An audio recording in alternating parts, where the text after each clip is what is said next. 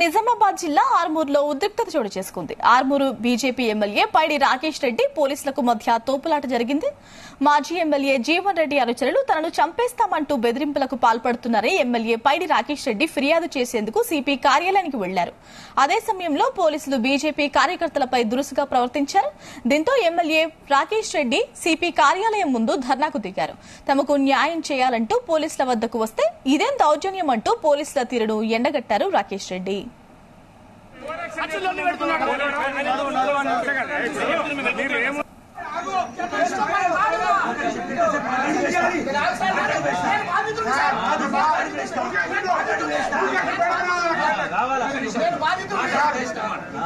చెప్పిన కదా బాధితుల్ని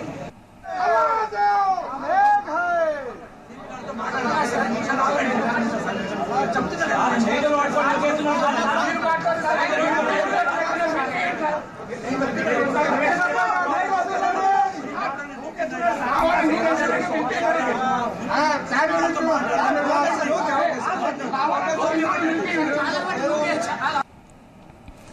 నిజామాబాద్ జిల్లా ఆర్మూరులో ఉద్రిక్తత చోటు చేసుకుంది. ఆర్మూరు బీజేపీ ఎమ్మెల్యే పైడి రాకేష్ రెడ్డి పోలీసులకు మధ్య తోపులాట జరిగింది.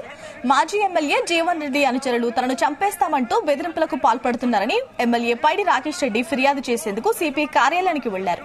అయితే అదే సమయంలో పోలీసులు బీజేపీ కార్యకర్తలపై దుసుగా ప్రవర్తించారు. దీంతో ఎమ్మెల్యే రాకేష్ రెడ్డి సిపి కార్యాలయం ముందు ధర్నాకు దిగారు.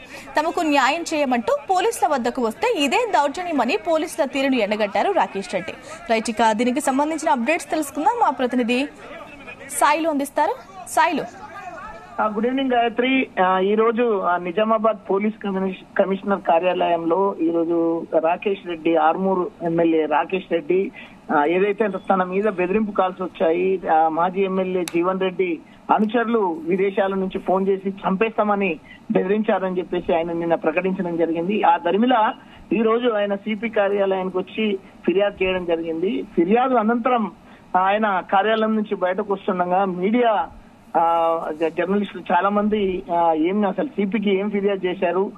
అసలు ఆంతర్యం దానికి సంబంధించిన వివరాలు తెలపండి అంటూ మీడియా వచ్చేసరికి ఆయన అక్కడ మీడియాతో మాట్లాడుతున్నారు. ఈ క్రమంలో అడిషనల్ డీసీపీ జయరాం ఆయన జోక్యం చేసుకొని ఇది సిపి కార్యాలయము ఇక్కడ ఎవరు మాట్లాడొద్దు మీరు కొత్తగా వచ్చేది ఎమ్మెల్యే మీకు తెలియదు ఓవర్ యాక్షన్ చేయకండి అంటూ కొన్ని పదాలు వాడడంతో వెంటనే వెంటనే ఆయన సముదాయించే ప్రయత్నం చేస్తున్నప్పటికీ రాకేష్ రెడ్డి ఈయన ఆపా అక్కడి నుంచి వెళ్ళండి వెళ్ళండి అంటూ ఆయన కొద్దిగా దురుసుగా వ్యవహరించినట్టుగా అక్కడ కనిపించింది. దీంతో ఆయన రాకేష్ రెడ్డి ప్రశ్నించడం జరిగింది డీసీపీని అసలు ఒక రెండు నిమిషాలు ఆగండి మేము మాట్లాడుతున్నామని సర్ది చెప్పే లోపే ఆ డీసీపీ ఆ చర్య అనేది కొద్దిగా అక్కడ ఇబ్బందికరంగా మారింది. దీంతో బీజేపీ కార్యకర్తలు అక్కడ ఉన్న రాకేష్ రెడ్డి కూడా డీసీపీ చర్య నిండగడుతూ అక్కడ బైఠాయించి నిరసన వ్యక్తం చేయడం జరిగింది. ఈ క్రమంలోనే అక్కడికి వచ్చిన జర్నలిస్టుల మీద కూడా ఆ డీసీ ఏదైతే అడిషనల్ డీసీపీ జయరాము అదేవిధంగా ఏఆర్ ఆర్ఐ వెంకటప్ప నాయుడు వారు మీ వీడియో జర్నలిస్టుల మీద అదేవిధంగా కొంతమంది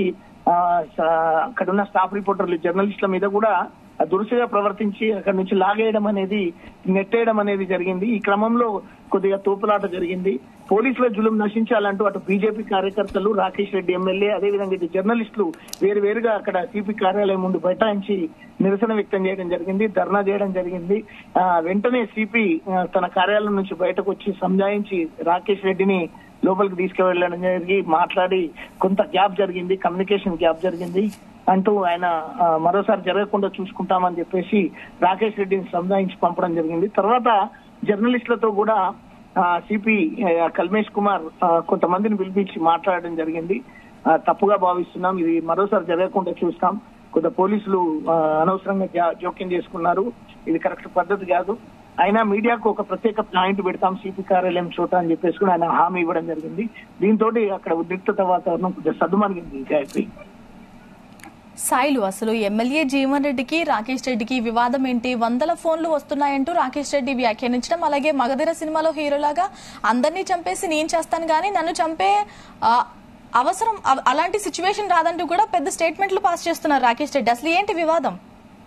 అంటే వాస్తవానికి ఆరుమూరు నియోజకవర్గంలో దాదాపు పదేళ్ళు పాలించిన ఈ మాజీ ఎమ్మెల్యే జీవన్ రెడ్డి అనేక అవినీతి అక్రమాలకు కానీ తర్వాత అక్కడున్న కొన్ని ఏదైతే ప్రకృతికి సంబంధించిన ఏదైతే సహజ సంపదను కూడా దోచేసుకున్నాడన్న ఆరోపణలు ఉన్నాయి. ప్రధానంగా మనం చూస్తుంటే ఆర్టీసీకి సంబంధించిన స్థలం ఏదైతే ఆర్టీసీ డిపో ఆర్మూర్ పక్కనే ఉన్న ఆ కా- ఖాళీ స్థలాన్ని ఆయన లీజుకు తీసుకొని అక్రమ మార్గంలో లీజుకు తీసుకొని దాదాపు ఎస్ఎఫ్సి నుంచి ఇరవై కోట్ల రూపాయలు తీసుకొని అక్కడ నిర్మించడం జరిగింది. దాంట్లో ఆ, ఆర్టీసీకి కట్టాల్సిన డబ్బులను కూడా ఈ పదేళ్ళ కాలంలో అంటే ఒక్క రూపాయి కూడా చెల్లించలేదనేది. అదేవిధంగా విద్యుత్ శాఖకు కూడా దాదాపు రెండున్నర కోట్ల రూపాయలు బకాయి పడ్డారు.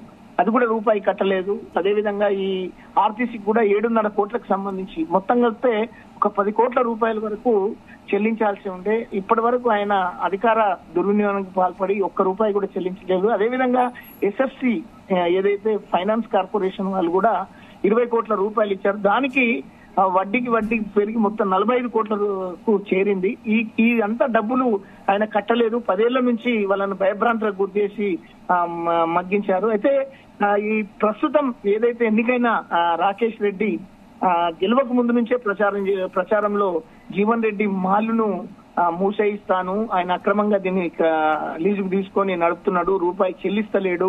ఇది మొత్తానికి అని చెప్పేసి అప్పుడు ప్రకటించారు. తర్వాత గెలిచిన తర్వాత కూడా విజయోత్సవ సభలో ఆ జీవన్ రెడ్డి మాల్ ముందు నుంచి ఆయన ర్యాలీ తీస్తుండగా అక్కడే ఆగి ఆయన హెచ్చరించడం జరిగింది. నేను ఎన్నికయ్యాను. ఇక రేపటి నుంచి దీని మొత్తానికి భాగవతం బయటపెడతానన్న క్రమంలోనే మొన్న ఇటీవల ఆర్టీసీ అధికారులు టాస్క్ ఫోర్స్ అధికారులు హైదరాబాద్ నుంచి రావడం నోటీసులు జారీ చేయడం పదిహేను రోజుల్లో చెల్లించకపోతే పూర్తిగా ఇది ఆర్టీసీకి సొంతం చేసుకుంటామని చెప్పడం అదేవిధంగా విద్యుత్ శాఖ అధికారులు కూడా ఆ విద్యుత్తును కట్ చేయడము ఇవన్నీ ఒక్కసారిగా జరిగిపోయినాయి. దాంతో పాటు మరొకటి ఈ ఎస్ఎఫ్సి వాళ్ళు కూడా నిన్న రాత్రి ఏదైతే నిన్న సోమవారం రాత్రి ఆయన ఇంటికి నోటీస్ లాంటి అంటివేయడం జరిగింది. ఇరవై కోట్లకు నలభై ఐదు కోట్లు అయినాయి వెంటనే చెల్లించకపోతే ఇల్లుని జప్తు చేస్తామని చెప్పేసి ఆ, అంటించడము. అన్- అందులో భాగంగానే నిన్న రాకేష్ రెడ్డి ఏదైతే కొన్ని క్వారీలు ఈయన అక్రమంగా నడిపిస్తున్న క్వారీలకు సంబంధించి ఆయన ప్రత్యక్షంగా స్థానికులతోటి పోయి ఆయన సందర్శించడము. అక్కడ కేజీఎఫ్ లాంటి ఆ ఏదైతే అంత పెద్ద సామ్రాజ్యం నడుస్తుంది ఈ గుట్టల్ని మాయం చేశారు తర్వాత దానిలో మొరము రాళ్ళు రప్పలు తర్వాత ఏదైతే దానికి సంబంధించినంత ఆ, ఏదైతే కర్ర అదే విధంగా ఆ, ఈ కంకర మొర రకరకాల అన్ని సహజ దానికి సంబంధించినంత పూర్తిగా దోచేసిండు. దాదాపు వేలాది కోట్ల రూపాయలు ఇక్కడ మాకులూరులో కానీ అంకాపూర్లో కానీ మామిడిపల్లిలో కానీ గుట్టలన్నీ మాయం చేశారు. సిద్ధుల గుట్టలను కూడా మాయం చేశారు అని చెప్పేసి కూడా ఆరోపించడం జరిగింది. అయితే ఈ క్రమంలో తనకు బెదిరింపాల్సి వస్తున్నాయి.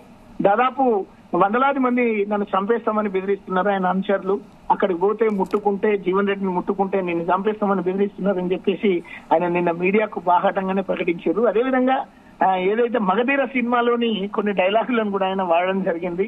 ఆ, మీడియాతో మాట్లాడుతున్న క్రమంలో మగధీర సినిమాలో ఏదైతే హీరో వంద మందిని చంపి తర్వాత తాను చేస్తాడు అదే విధంగా జీవన్ రెడ్డి కబర్దార్ కాష్కో నువ్వు నన్ను చంపడం కాదు నేను నీ సంబంధించిన వంద మందిని చంపిన తర్వాతనే నేను చచ్చిపోతా నువ్వు నన్ను చంపే తరం కాదు నీ తరం కాదని చెప్పేసి భారీ డైలాగులు వదిలడం జరిగింది. ఇవన్నీ చూస్తుంటే ఓవరాల్గా చూస్తే ఆ జీవన్ రెడ్డికి షాకుల మీద షాకులు జరుగుతున్నాయి. అక్కడ ఇంకా అనేక ఆ, అవినీతి అక్రమాలు తర్వాత దౌర్జన్యాలు ఈ దుర్మార్గాలు అన్ని బయటకు వస్తున్నాయని చెప్పవచ్చు గాయత్రి. సాయిలు ఇప్పుడు సిపి కార్యాలయం దగ్గర సిచ్యువేషన్ ఎలాగా ఉంది? బీజేపీ కార్యకర్తల పైన పోలీసులు కూడా కొంచెం దురుసుగా ప్రవర్తించినట్లు తెలుస్తోంది. ఎలా ఉంది ఇప్పుడు అక్కడ సిచ్యువేషన్ వాస్తవానికి అయితే మధ్యాహ్నం ఆయన మర్యాద పూర్వకంగా ఎమ్మెల్యేగా ఎన్నికైన తర్వాత కలిసి తర్వాత తన జరిగిన పరిస్థితి మీద దాదాపు గంట సేపు సుదీర్ఘంగా ఏదైతే సిపి కల్మేష్ కుమార్ తోటి చర్చలు జరిపారు అసలు ఏం జరుగుతుంది ఏం కథ అనేది మొత్తాన్ని ఆయన వివరించడం జరిగింది. నియోజకవర్గంలో జరిగిన ఈ పదేళ్ళలో ఈ ఏదైతే అరాచకాలన్నింటినీ ఆయన వివరించడం జరిగింది. అదేవిధంగా ఏదైతే గోరంత అనుమతులు తీసుకొని కొండంత తవ్విందని చెప్పేసి కూడా ఆయన అన్ని ఆధారాలతో సహా సిపికి వివరించడం జరిగింది. మరి ఆయనకు వచ్చిన ఫోన్ కాల్కి సంబంధించి కూడా కాల్ డాటాను తీసి తర్వాత దానికి సంబంధించిన ఎవరెవరు ఏం చేశారు అనేది కూడా కులంకషంగా సిపితో చర్చించడం జరిగింది. ఈ క్రమంలోనే ఓవరాల్గా దాదాపు గంట గంటన్నర సిపి తోటి ఆ, సామరస్యపూర్వకంగానే పూర్తిగా జరిగింది. కానీ బయటకు వచ్చిన తర్వాతనే మీడియా మాట్లాడే ప్రయత్నం చేస్తున్న క్రమంలో అడిషనల్ డీసీపీ జోక్యం అనేది ఆయన ఎందుకంటే ఆయన కొద్దిగా దురుసుగా వివరించడం అనేది మాత్రం అటు రాకేష్ రెడ్డిని కానీ ఇటు జర్నలిస్టులను కానీ ఆ, జీర్ణించుకోలేని పరిస్థితి ఏర్పడింది. ఆ క్రమంలోనే ఈ ఆందోళన ఈ ఒక్కరగా సిపి మళ్ళీ రంగప్రవేశం చేసి సద్దుమణిగించారు ఆ ఉద్రిక్త వాతావరణం అయితే ఇప్పుడు లేదు. Gayatri right Shailu thank you